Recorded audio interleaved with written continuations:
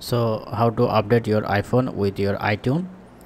Uh, first of all you need to go your any browser and type apple.com itunes this website. Then you have to download your itunes latest version on your pc i already downloaded it. Just press on this uh, logo and it will be automatically download and you have to install it. And i already installed. Press on itunes search on.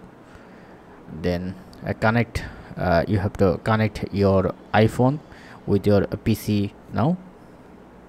Cable? Now i am connecting uh, my mobile phone with the cable with the pc and uh, once done then you can see this kind of pop-up. Then you can see the restore or update anything.